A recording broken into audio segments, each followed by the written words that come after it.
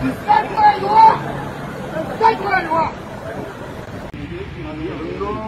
no, no, no. This is what we're saying. No. You know that Nelson Piri got fired?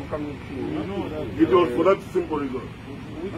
Oh, when they done at me, and it was caught on camera. No, because I'm wondering, there are bomb and Lusambo trucks driving all around the road.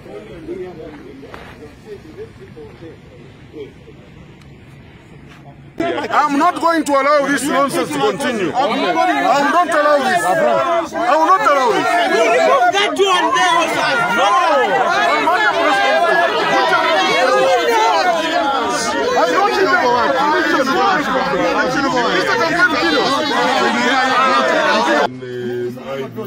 Hello, Commander. And this in a private residence. How do you allow these uh, helmeted fellows to come in like this? And that's why you find that your police at Marei Prayavan. How do you go with guns? Over, this is simple man. Alone and armed. Simple matter. If it is malicious damage, definitely. Coming with guns, ah, it's really unfortunate.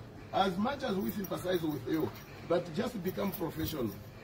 Even if they transfer you, we are bringing you back. Stop Even if they taking won't illegal fire you. instructions. Your Yes. training at Lilayi must, your conscience must guide you. Lungu can't win this election. Don't be misused. He's not going to win. He's not, Your and we're not going conscience to allow. better guide to see your candidate bring fresh counsel of this. Give us a call. We'll come back to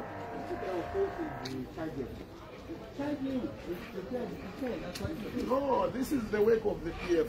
What they want is, Hakainde has been confined in his house, but they are still feeling his weight. Because it's everywhere, and the PF has remained with no stronghold in Zambia. Whether Lungu likes it or not, and whether Kanganja, we know Kanganja's contract is expired, is there illegally, but issuing you instructions like this, we are not going to accept this.